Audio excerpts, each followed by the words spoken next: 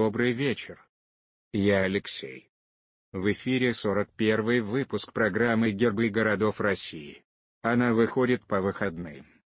Наш город сегодня – это город Дедовск.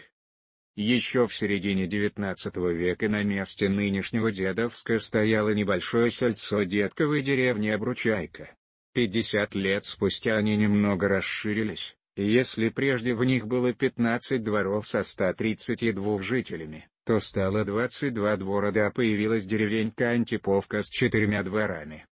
Это был край подмосковных имений, усадеб, дач, где любая деревенька связана с каким-либо громким именем. Кто из знаменитостей не езживал погостить к хлебосольному своему знакомцу? В Дедовой наведывался к бабушке. Коваленская Александр Блок.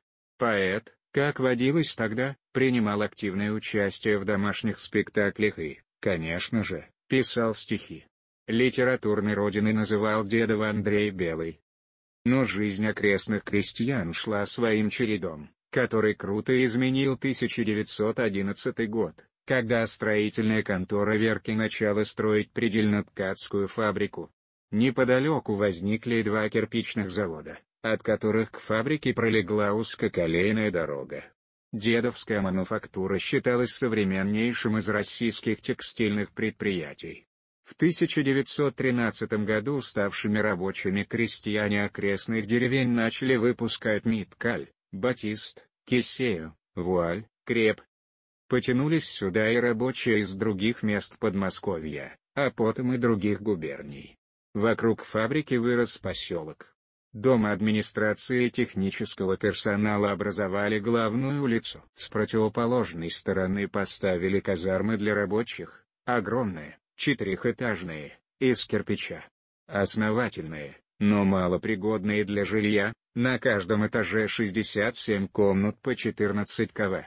М и порой для двух семей. А сами казармы соединялись общими кухнями. Тяжелыми были условия труда ткачей. 9-10 часовой рабочий день делился на две части. Первая смена с 4 до 9 часов и с 14 до 18, вторая с 9 до 14 и с 18 до 22. К тому же зарплата была чрезвычайно низкой. Все это не могло не вызвать протест рабочих, с энтузиазмом встретивших февральскую революцию. Они сразу же явочным порядком установили 8-часовой непрерывный рабочий день, ввели новые более высокие расценки и отменили штрафы. В 1917 году на фабрике сформировались партийные ячейки социал-демократов и социал-революционеров. В трудные для страны годы гражданской войны фабрика остановилась и возобновила работу лишь в 1921 году, а несколько позднее началось жилищное строительство.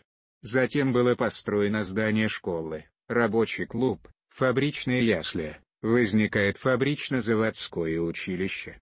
В 1937 году в Дедовском поселке открылся филиал вечернего техникума. Еще одна замечательная страница истории, о ней горожане узнали позднее, которой несомненно гордятся жители Дедовска, существование неподалеку от города-полигона, где проводила экспериментальные запуски ракет группы по изучению реактивного движения под руководством С.П. Королева. Когда в 1940 году Дедовский поселок был преобразован в город, в его черту вошли поселки Ткацко-предельной фабрики, Тучковского керамического завода, бывший кирпичный завод в деревне Талица, и станция Гучкова с общим населением в 14 тысячах человек. Через год жители города встали на защиту Москвы. Их руками создавались оборонительные рубежи. Семь дней длились бои за Дедовск, но войти в него фашисты так и не смогли. Драматические события тех дней подробно описаны в воспоминаниях тогдашнего командующего Западным фронтом маршала Г.К. Жукова. Герб города. В лазуревом щите стилизованная серебряная бобина с золотыми нитями, окаймленная золотом в виде литер «Д».